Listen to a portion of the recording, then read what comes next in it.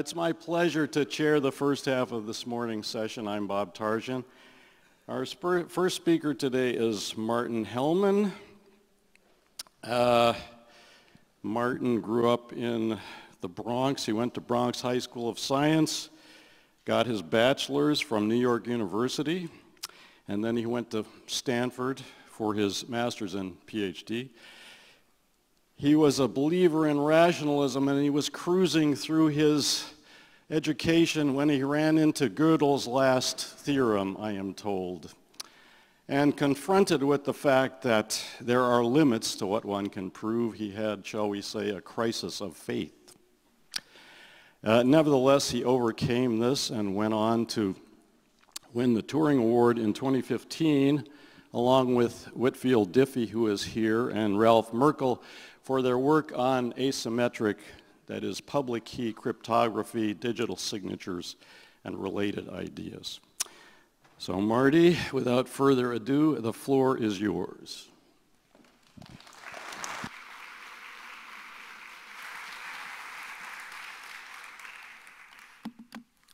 Well, thank you, Bob, and thank you all for coming. Let me get myself set up here, start so I know where I am. Uh, it was interesting. At the um, Lindau meeting where I first gave a version of this talk, uh, Sheldon uh, Glashow, one of the Nobel laureates in physics, was there. I asked him if he went to Bronx High School of Science. I thought he had, and he had. And I asked him if he had Mr. Hellman for physics. Not me, my uncle. And he had. And uh, my uncle had had uh, three physics students that went on to win Nobel Prizes uh, in that discipline. I also had my uncle for physics, but that's another story. So on Monday, we heard Nobel laureate Edvard Moser's Lindau lecture, which is part of the Lindau-Heidelberg Partnership. And I was honored to give this year's corresponding Heidelberg lecture there. Um, and this talk is based on the one that I gave there. Uh, first, a caveat and a note. The caveat, I'm an American, and so I naturally talk primarily from an American perspective. But the ideas the, uh, uh, that, I, that I will express are easily translatable into citizen, for citizens of other nations. And I will touch on that briefly later. Uh, second to note, uh, a paper with more details, it's the write-up of my Lindau lecture, is available um, on the Lindau uh, website, as is the video of that, which is very similar to this. And so if you like this and you want to share it with other people, I don't think this is uh, going to be online. That one is. And also, um, a, a, PDF of that paper and a couple of things I'll mention. Rethinking National Security, a report I put out in the spring, and a book my wife and I wrote. PDFs are freely available. You don't have to buy any of these. And they are on my Stanford Publications page, which is easily found by Googling, or I guess I should be, say any search engine. Uh, uh, so uh, Stanford Hellman Publications, it's the first hit and there are links, they're all at the bottom of that page. So the Manhattan Project, which made the first nuclear weapons, transformed what had been a purely moral concern, ethical decision-making, into one that is essential for civilization to survive. So it became of the utmost practicality. And that was because for the first time, it created the real possibility of humanity destroying itself. That's why this talk is titled The Technological Imperative, the Technological Requirement for Ethical Evolution. And I realize that is a little dry. My wife might even say a boring title. When she wants to get my attention, she says, that's boring. And so I'll tell you that I was tempted to subtitle the talk, How I Screwed Up and How to Avoid Doing the Same. And it relates to one of the things that Bob talked about with Gödel's incompleteness theorem which I won't have time to go into here, but that's covered in our book. Um, my talk related to the theme of the Lindau meeting, uh, which was advancing our understanding of physics, and relates to HLF's theme as well, uh, expanding our knowledge of computer science and mathematics, because those understandings will come to an abrupt halt, and in fact would likely be erased if there were a nuclear war. And of course, it's not just nuclear war. That risk to physics, math, computer science, and civilization in general is increased by advances taking place in cyber technology, artificial intelligence, genetic engineering, and other areas, as well as the potential for a catastrophic environmental crisis such as extreme climate change, which was covered as the hot topic this year at HLF. All of those threats make it imperative, to use the word from the title of this talk, that we, society, accelerate its ethical evolution. And most of this talk consists of eight lessons that I learned, usually the hard way, meaning I screwed up, and that I hope will accelerate your process. So let's see. Lesson number one, it's really easy to fool ourselves. And of course, to make it more personal, the story is going to be how I fooled myself. In March 1975, the, what was then called the National Bureau of Standards in America, now it's NIST, the National Institute of Standards and Technology, proposed a data encryption standard, or DES. Now, the prize that Whit and I won, the Turing Award, was for public key cryptography. This precedes it. This is conventional cryptography. But I should emphasize that public key cryptography becomes much more useful if there's a good conventional system, because public key cryptography is slow, and we typically use it only to exchange a key that's then used in a conventional system like DES. Well, DES seemed to have a 64-bit key size, which is a kind of natural key size for computer science, except one of the things Whit and I noticed was that almost immediately the algorithm threw away 8 bits, leaving only a 56-bit key. That meant that there are 100,000 million million keys to an order of magnitude. I've rounded here. And we estimated that even with 1975's technology, you could build a special purpose LSI chip that would search a million keys per second. And of course, if you're building a special purpose chip, you don't just build one of them. The design cost is so high, you buy a million. You're now searching how many keys per second? A million million keys per second. So how long does it take to search 100,000 million million keys? 100,000 seconds, which is a little more than a day and we estimated the cost would be 10,000 US dollars per solution. And even if we were wrong, even if we were off by an order of magnitude in our estimate, Moore's law was advancing so rapidly over that period of time and up until recently that even an order of magnitude error in our estimates, we didn't think we were anywhere near that far off, would be erased by the passage of five years' time. Well, we thought that, Whit and I thought this was a bug. No, actually, this is correct. I just want, I'm, not, I'm actually not using any slides, and so I'm just putting up the title so that you don't pay too much attention to them, so that I can have more eye contact with the audience. So Whit and I thought this was a bug, and we wrote letters to the Bureau of Standards, and they wrote back very nicely, and they didn't really answer our objections. And after a, an iteration of about three series of letters, and we were getting increasingly concerned, we realized the bug was a feature. Not from our point of view, but from the American NSA, National Security Agency's point of view. They did not want a publicly available cryptographic system that they could not break. And 56 bits was big enough that most people couldn't break it, but they could. So after six months of writing letters, we prepared to go public because we realized we had a, a technical, uh, we had, I'm sorry, we had a political problem, not a technical problem. And if we were going to get change, we had to go to Congress, get hearings, we had to go to the media and get coverage. And as we're getting ready, two high-level NSA, NSA employees fly out to California especially to meet with us and they tell us in that meeting that I'm sure you remember at Paul Baran's offices uh, at Cable Data, I'm talking to Whit right now, um, they told us, if you keep talking this way, you're going to really hurt national security. I think their exact words were grave harm to American national security. So I'm sure Whit went home, and, but um, I can just tell the story from my perspective. I went home to figure out the right thing to do, the ethical thing to do.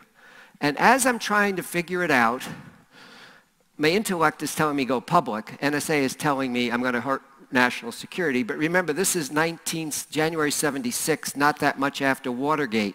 And so uh, we were somewhat skeptical of the government's position. But as I'm trying to figure out the right thing to do, an idea just pops into my head, coming out of nowhere. Well, it came from the deep unconscious. Forget about what's right and wrong. You'll never have more of an opportunity to become famous. Run with it. Now, who would want to jeopardize national security, cause grave harm potentially to national security, just to be famous? Well, the answer is a lot of us, but we don't like to admit it. I call this a shadow motivation. It's something that usually is so abhorrent to our conscious minds that we keep it at an unconscious level. In my case, I was lucky that it actually bubbled up to consciousness. But, uh, and I liken it to a movie where, you know, there's a devil on one shoulder and an angel on the actor's other shoulder. So the devil's whispering in my ear, run with it. And at the time, I thought I really brushed him off my shoulder quite vigorously. But all I really did was push him into my unconscious where he could work his mischief uh, unseen. And we did go public with it. By the way, going public was the right decision. Uh, Admiral Inman, who was the director of NSA in a, uh, an interview about five, six years ago, uh, basically said that. Uh, he's reevaluated. But I was lucky that I made the right decision since I was making it unethically. I mean, I, I, I had I was not really trying to do the right thing. What I realized is I had come up with what I wanted to do and then come up with the justification for doing it, whether it was right or wrong. And how did I realize that? Well, five years later, remember this was January 76 that the devil's on my shoulder. In the summer of 81, Dorothy and I are trying to sort out our marriage, which at that point was in deep trouble. The good news is it isn't anymore. Uh, we're madly in love again. Uh, we thank each other daily. But at that point, we were working it out, and I finally had gotten to the point that I would take a week. I would not have done this a year earlier, uh, a week to really look at the bigger issues of life. And as part of that week-long uh, retreat, we saw a documentary called Day After Trinity. Trinity is the was the code name for the first test of an atomic weapon in the New Mexico desert at Alamogordo, New Mexico in July 1945. This is the day after Trinity.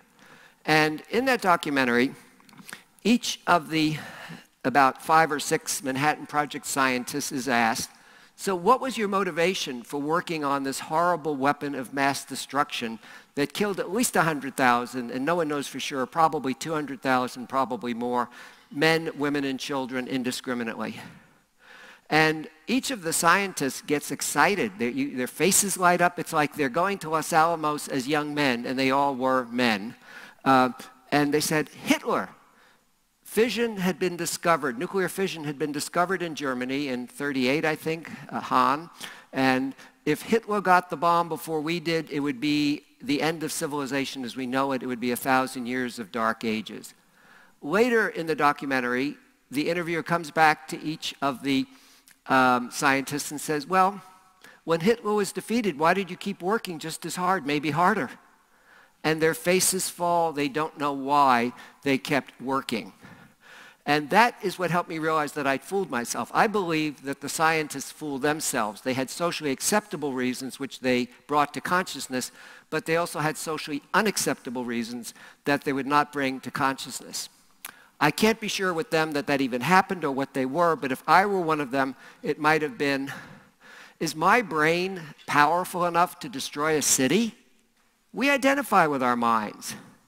But you'd have to do the experiment. You're a scientist. You can't just do the calculations. I mean, this is horrible. I mean, killing over 100,000 men, women, and children to prove that your brain is that powerful. Another, I have to admit, I didn't play football as a kid. I was kind of the geek, uh, some of you might identify. And is this my chance for the girls to fall at my feet instead of that stupid football quarterback? Again, who would want to kill tens of thousands, maybe hundreds of thousands of people just for that? And yet, unless you're really careful, it's easy to fool yourself. Oh, Robert Wilson, one of the scientists who uh, interviewed in the documentary, who uh, became the first director of Fermilab, when he's asked about this, he even said, in terms of everything that I believed in, before, during, and after the war. I cannot understand why I did not walk away from Los Alamos, the laboratory where they developed the weapon. But it simply was not in the air. Our life was directed to do one thing, and we as automatons were doing it. So I realized what I had done five years earlier when I thought I brushed the devil off my shoulder, I just pushed him down, and I vowed I would never make that mistake again. I'd made the right decision for the wrong reasons. It could have been the wrong decision for the wrong reasons. So what's lesson number two? It's the value of outside help. Roughly five years after I vowed that I would never fool myself again, I'm confronted with another major ethical decision. So Many of you know that Whit Diffie and Ralph Merkle and I invented public key cryptography. We publish separately. There are differences uh, in, in, in, our work, but um, we basically are all equally, equally uh, responsible for inventing public key cryptography in my mind. Uh, Rivest, Shamir, and Adleman, RSA, that you probably heard of, at MIT, building on our work, developed the RSA algorithm that did what Whit and I had proposed in our paper, not what Ralph had proposed in his, better than we had been able to do. In their paper, they credit Whit and me, because they didn't know about Ralph, unfortunately he doesn't get as much credit as he deserves, with inventing public key cryptography. And so when, it, when they started a company, I went to Ron Rivest and said, hey, how about paying us royalties? Well, RSA and Jim Bidzos, who is the president of RSA, said, your patents are invalid, sue us.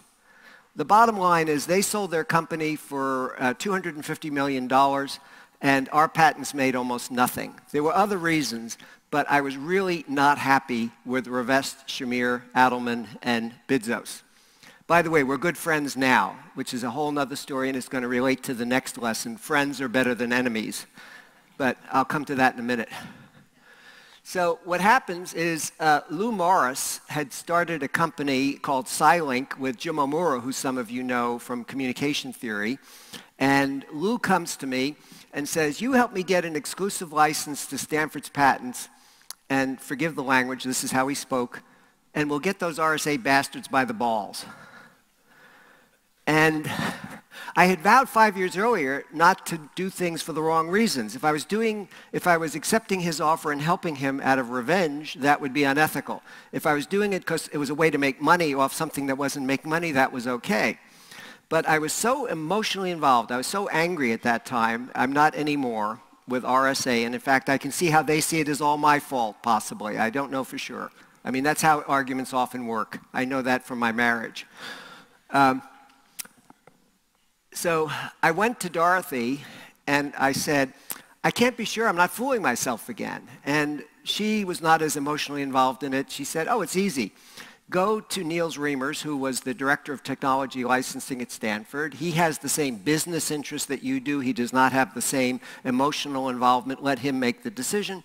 I went to Niels, and he said, of course we go with Lou Morris's offer. It's the only way we have a chance to make money. It's the same decision I would have made on my own, but this way I can be certain that I didn't fool myself. So that's lesson two, the value of outside help.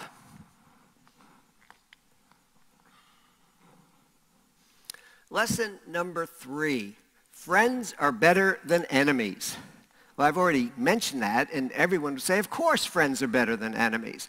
But the real question is, how many people do the hard work, take the risk to try to turn an enemy into a friend. And in the write-up of my uh, Lindau talk, I have two examples, but I'll only have time for one here.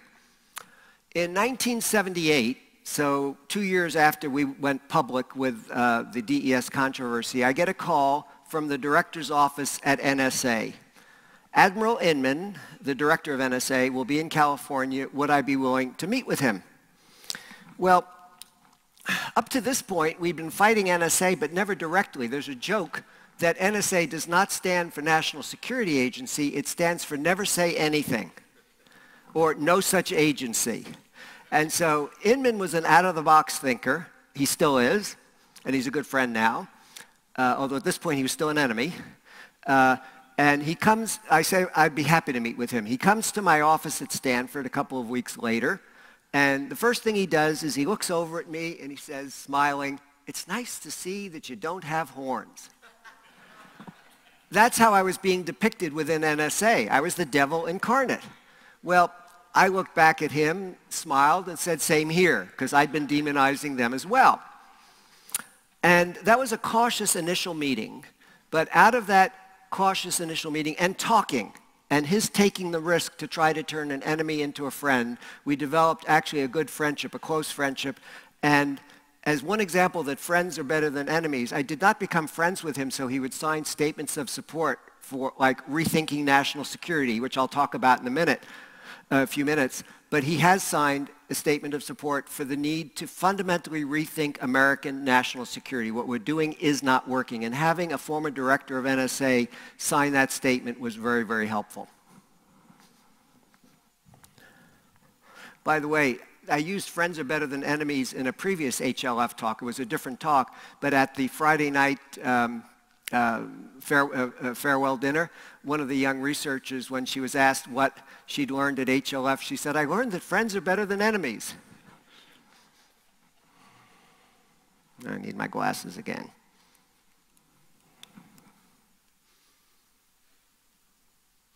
Okay, lesson number four get practice by correcting even minor ethical lapses. So remember, I fooled myself in 1976 when I thought I brushed the devil off my shoulder, but I only pushed him into my unconscious. Whereas in 10 years later, roughly 1986, when Lou Morris came to me, uh, I realized I might be fooling myself, and I got help from Dorothy uh, and Niels Reimers to make sure I wasn't fooling myself. What had happened that allowed me to recognize the difference? Well, remember, in the midpoint, in that summer of 1981, when I saw Day After Trinity, Dorothy and I had committed to make our marriage work. And as part of that, we each committed to really fulfill our wedding vows in which we said, I will love you through good times and bad. I thought I was doing that, and yet when things got tough, I would yell at her. She would never yell at me, of course. Very, I mean, we had our issues. And so both of us were breaking our marriage vows by mistreating one another in the hard times. And so what had happened is I had, it's kind of like weightlifting. If you want to win a weightlifting contest, and let's see, is Bob, who, who is it? No, it's uh, David Patterson that's a weightlifter. Uh, he doesn't just go to a weightlift, uh, Turing Award winner. He doesn't just go and try to lift weights at a contest. He's working out all the time. In the same way, if I waited for the major ethical decisions like going public about DES or accepting Lou Morris's offer, those come along once every 10 years, if that, and you're out of practice.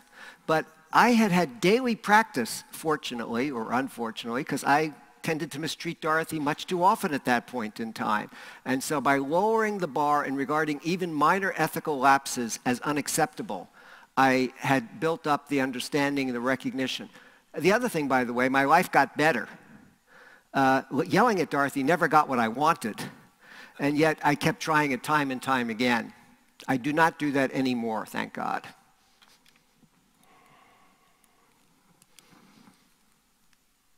Lesson number five, ethics is an evolutionary process. We tend to think of ethical decision making as static. And yet, if you really think about it just a little bit, you'll see that it changes dynamically over time. It evolves. Thomas Jefferson and George Washington were, supreme, were highly ethical by the standards of their day, and yet today each of them would be in jail for owning human beings.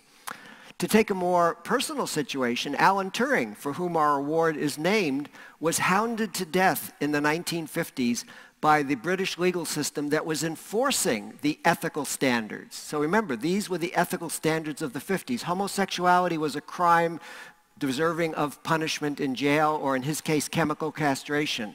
And he, it's the strong evidence he committed suicide, that was the result of the inquest. It's easy to see unethical behavior in the past. It's much harder to see it in the present. So how can we do that?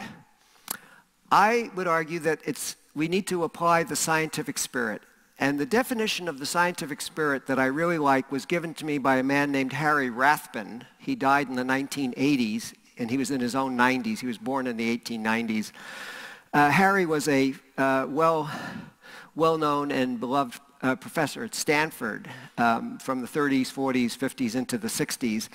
And Harry defined, he was an electrical engineer by training as an undergraduate and then became an attorney and taught business law. He defined the scientific spirit as a zealous search for the truth with a ruthless disregard for commonly held beliefs when contradicted by observations. And he used to smile when the words zealous and ruthless came up. But if you think about it, that's how we do things. And let's see. So what might we investigate if we undertook any search for the truth, much less a zealous search for the truth, going beyond the usual boundaries of science and applying it to our foreign policy and our military policy? Again, as an American, um, well, actually, as any person, you might ask, how ethical is society's current approach to nuclear weapons? Is it ethical to threaten to destroy civilization in an effort to preserve the peace? And then is it ethical to use that threat over much more minor um, issues than just the survival of our nation, as we've done? Like the Cuban Missile Crisis, there was nothing really essential at stake there for the United States. I don't have time to go into that. Which recent wars have been ethical? Or, to be more practical, which recent wars of the United States have had their intended result? Which have backfired? All of them. And by the way, just to make sure to point out that I'm not anti-American, the French and the British have made similar mistakes. And I was, oh, I was talking with somebody from Algeria about. There's lots of examples, and you can point to even small nations making mistakes. Are ethics being adequately factored into the development of artificial intelligence? Well, this was the topic in uh, Jasmine Jahan's uh, Monday workshop on ethics and AI. How ethical is society's current response to climate change? The hot topic session really went into this. There are uncertainties, but are the uncertainties that great? And is the tail of the uncertainty such that it goes into catastrophe with enough probability that we should be doing much more than we're now doing? Okay, let me move from lesson five, that ethics is an evolutionary process, to lesson six, and all of these are in the written paper, so you don't have to take notes. Technological advances require accelerating our ethical evolution. Science and engineering, well, let me back up. You might say the problem is nuclear weapons. You might say another problem is climate change. Another problem is uh, cyber weapons being developed, uh, artificial intelligence, killer robots. But I really see all of these as having a common root cause of which they are symptoms and we need to deal with that root cause. The root problem, as I see it, is that technology has given human beings physical power that historically was thought of as godlike in nature. To use the Judeo-Christian uh, heritage as an example, in the Bible, only God had the ability to destroy Sodom and Gomorrah with thunderbolts. What do we call them today? Nuclear weapons. In the Bible, only God was able to create a flood that would necessitate Noah building an ark. Climate change threatens similar consequences today. And in Genesis, only God could create life forms. We do it routinely in laboratories.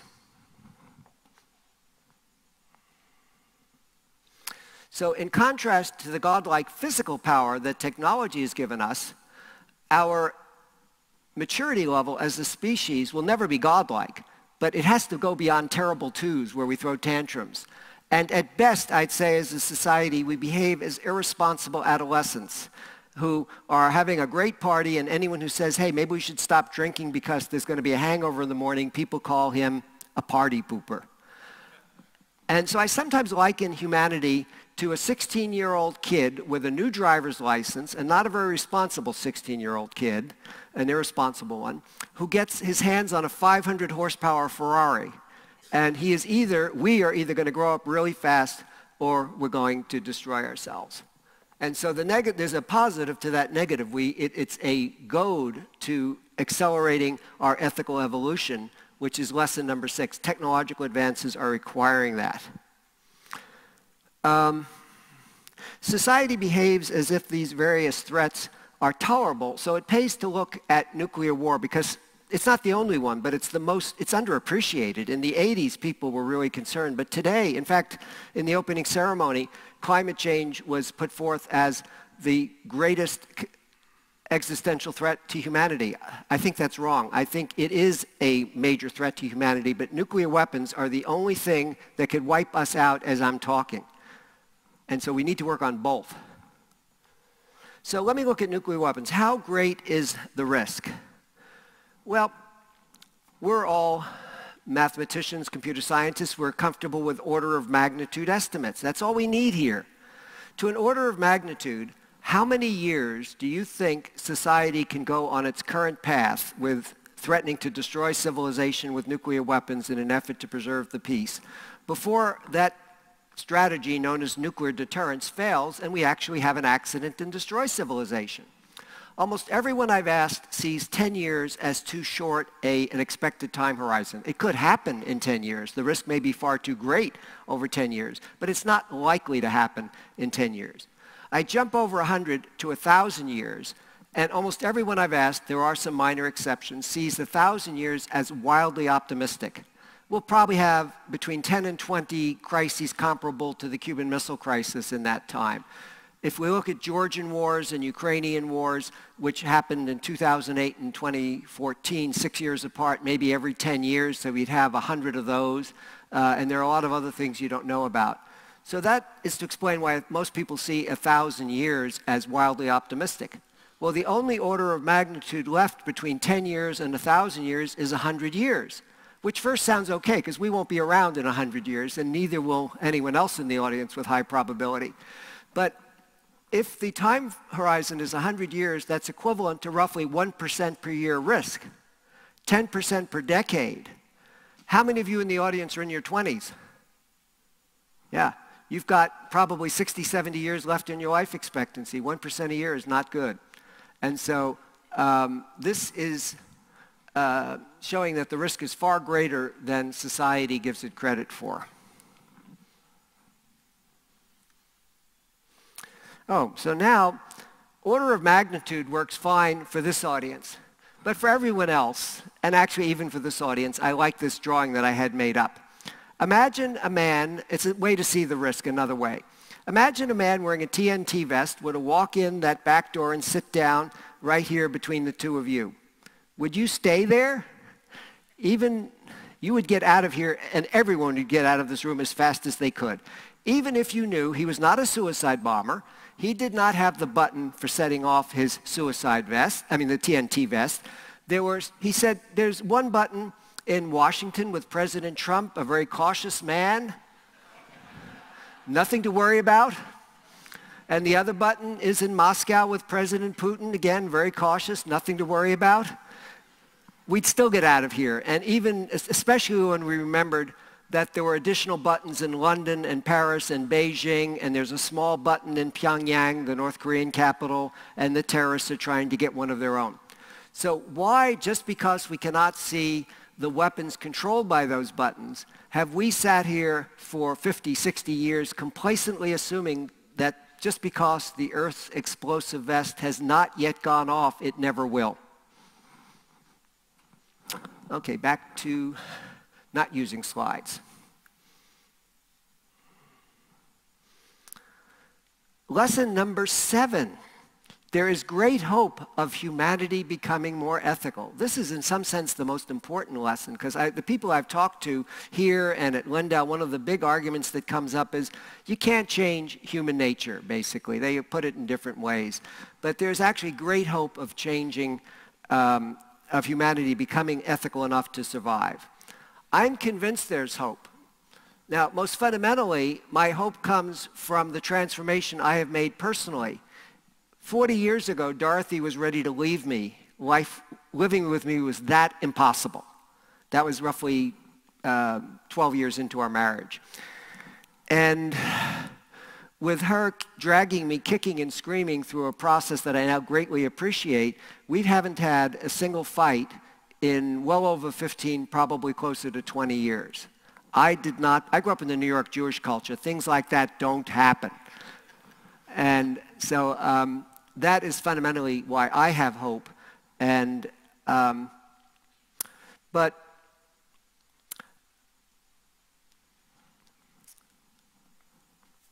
and so really the, the greatest hope is what happens at a personal level. And I think we've all seen changes of that kind in our lives and could have even more. I mean, it's not like we stopped evolving uh, 15 or 20 years ago when we stopped fighting. We keep learning new things, and each of you keeps learning new things.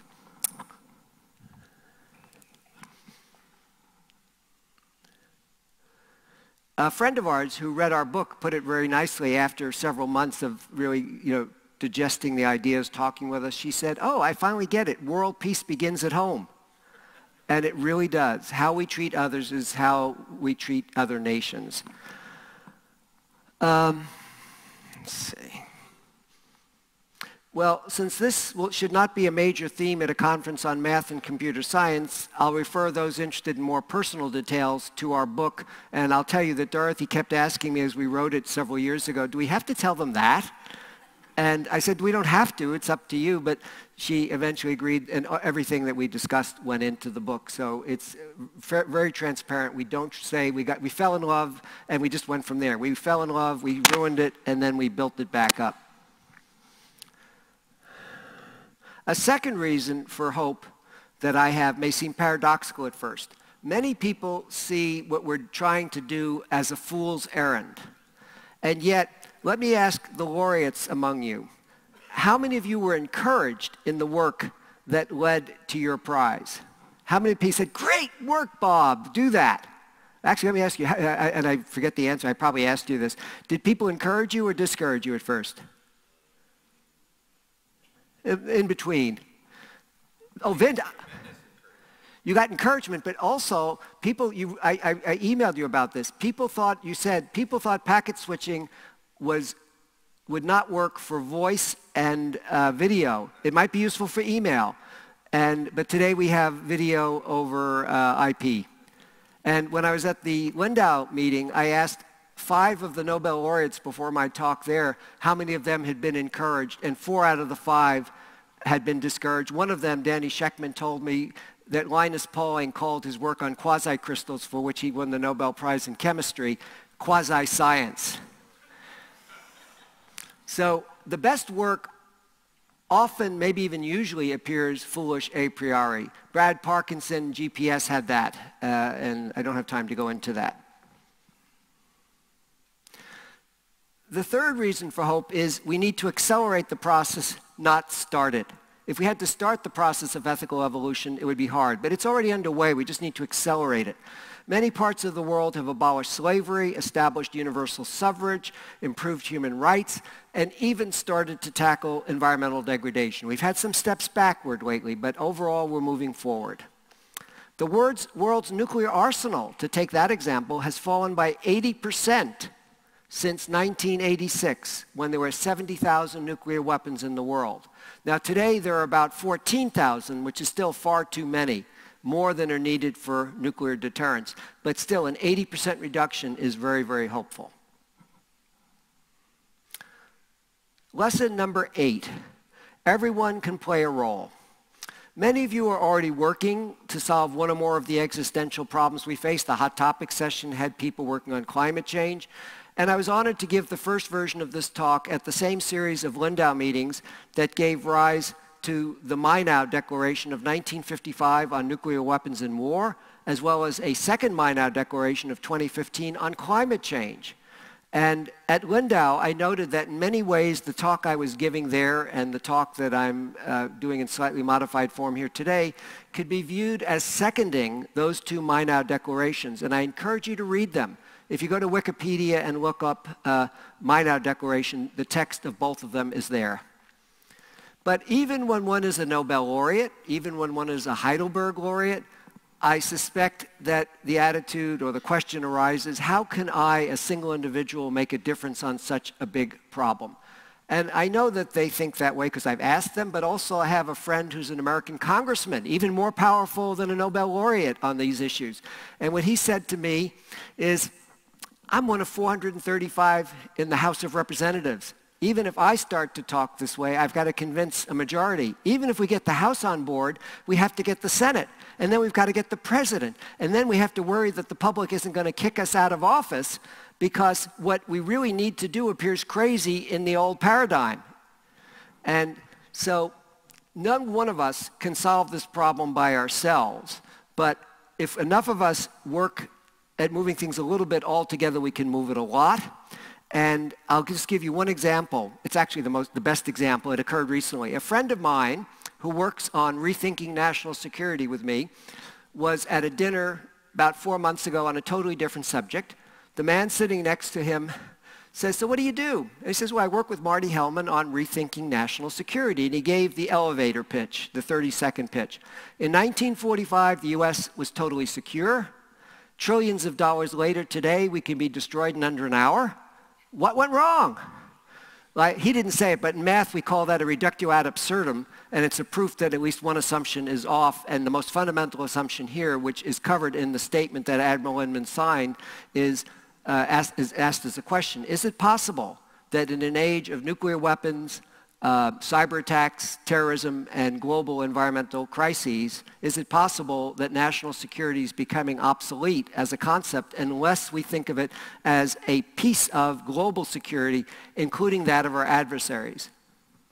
You see why my congressman friend has to worry about being voted out of office if he said that. So the, his table, my friend's table mate was intrigued. He'd never thought of it that way before. and he said, I want to help you. And he works in a way that could help us. But as the three of us now are talking, my friend, his table mate, and me, he says, yeah, by the way, I have a friend who's a congressman. You ought to talk to him. I look him up online, and it turns out that he's a very influential congressman. Uh, I won't go into details, but he's now working with us, and if things pan out as planned, something really good could come from it. Now, it might fail. Everything else like this that I've thought of, except for one thing, uh, didn't have a major impact, but one did have a major impact. And so we keep trying. And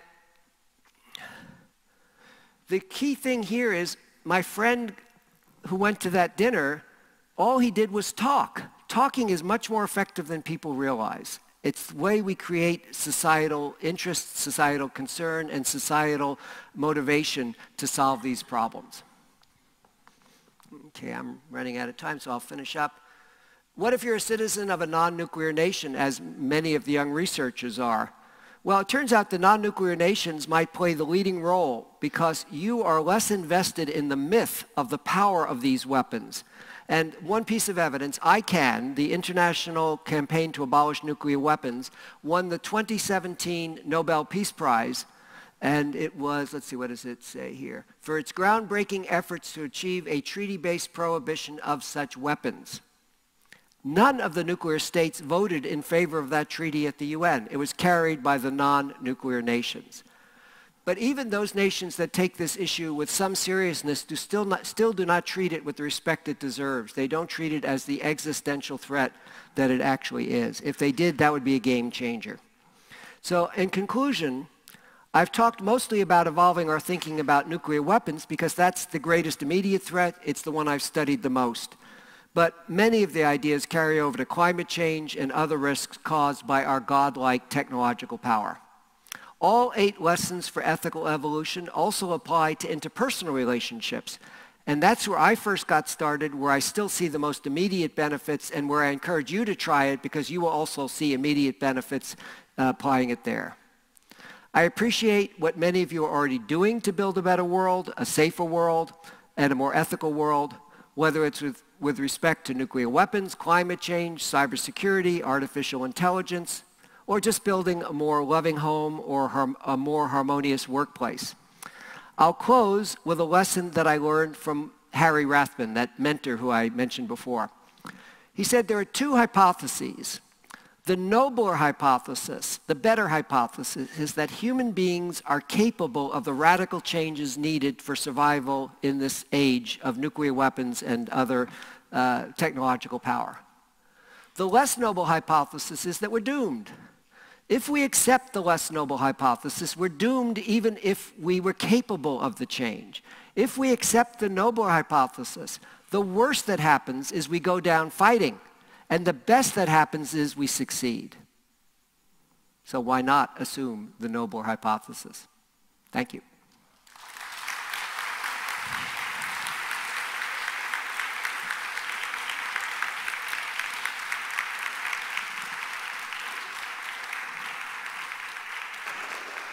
I, I think we have time for a few questions, so uh, we have some roving microphones. Anyone care to uh, make a comment or ask a question?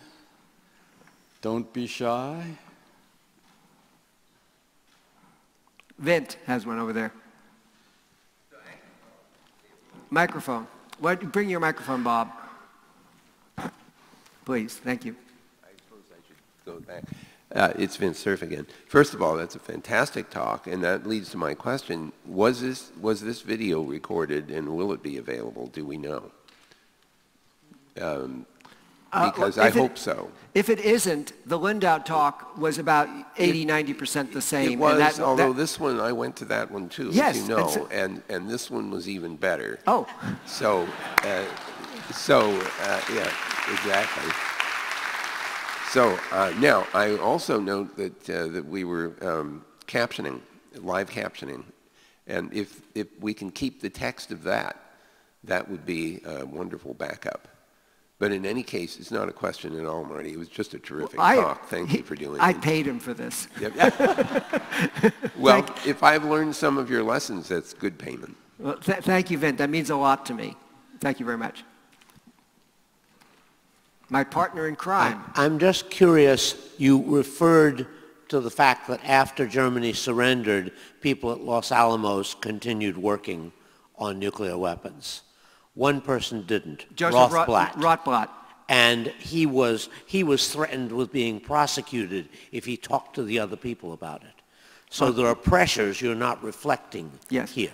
And also, by the way, I'm not judging the people who continued working on the Manhattan Project. It was wartime. Thousands of people were dying daily. Uh, I mean, we cannot judge them by the standards of today. But jo- Joseph Rotblat won the Nobel Peace Prize with Pugwash uh, for his efforts, uh, and, and I think that was part of it. Thank you for pointing that out, Whit. There's some in the back. There's one over here, and there's something in the back, too, if, if that helps you, Bob. Or just come to the microphones is the other thing. Come to the microphone. Yeah, in the meantime, why don't, there's one over here that you could get, I think. Unless, ah, the young woman, the young researcher's there, please. Uh, yes, thank you for your wonderful talk.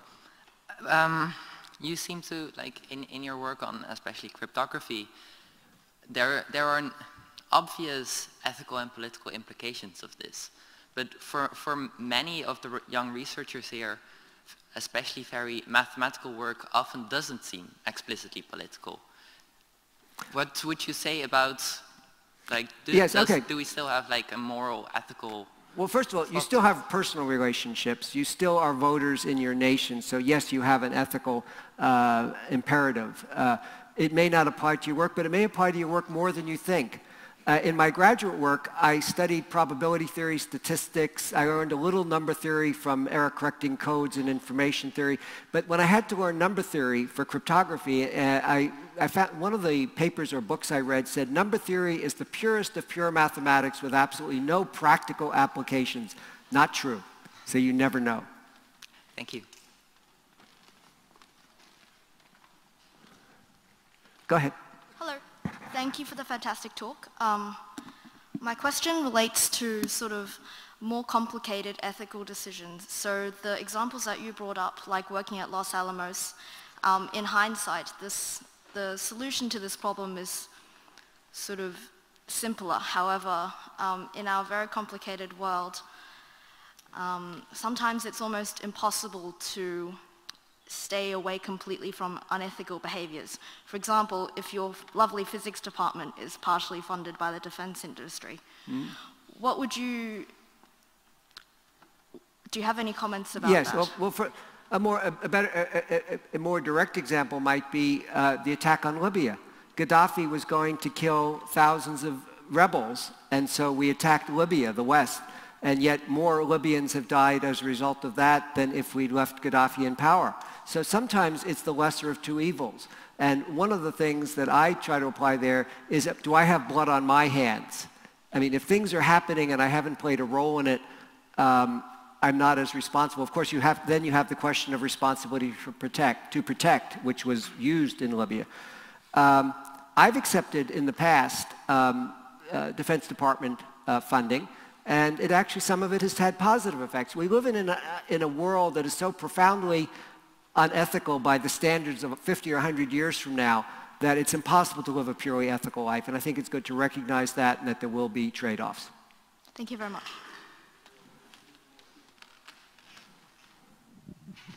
Thank you very much. You spoke very vividly about uh, personal decision-making, but if we take an example like autonomous vehicles, these systems are developed over many years by many people with many different uh, patents and other things there. What kind of legal structure do we need when things go wrong in order to adjudicate who's responsible for such action? Uh, I wish I had answers to all these questions. Uh, for, that's one where people with other expertise will have to figure in. But I'd say that one thing we can do as, uh, especially the laureates um, among us, who have credibility with our governments, uh, would be to bring these issues up and to, uh, to get them working on it. It's not that we'll come up with the answer right away, but to, that it should, be, it should not just be brushed aside. Uh, hello, sir. Uh, I'm really grateful for the magnificent talk. Thank you very much. I have a question regarding the nuclear issue that you mentioned. I'm wondering whether it's not like we're fighting the, the Nash equilibrium like in the prisoner's dilemma. I mean, I think most of us would agree that, we, that the world would be better off if we didn't have the uh, nuclear weapons, but the, the problem is that each one of us might be kind of uh, like scared that the other countries gonna gonna have this weapon and that what leads to this situation that we have that we are like arming up the countries are arming up mm. uh, like in the prisoners dilemma. Yeah. So Thank you. I've often said that if I had a magic wand and could make all the nuclear weapons in the world disappear in an instant, but nothing else changed, I'm not sure I would wave it because we might even be in a more dangerous situation. We might believe we could fight wars without nuclear weapons getting involved, and yet the knowledge of how to build them will always be there. It's going to be a process by which these weapons uh, are reduced and probably ultimately eliminated, but they will not be eliminated in the world as it exists today. We'll have to build a much more reasonable world, a much more mature society and species before that happens. But that's the good news. It's not just a negative. We have to build a better world, one that we can be proud to pass on to our children, our grandchildren, your children, grandchildren. Uh, and that's what drives me much more than the threat. Thank you. Let's thank Marty again for his inspirational talk.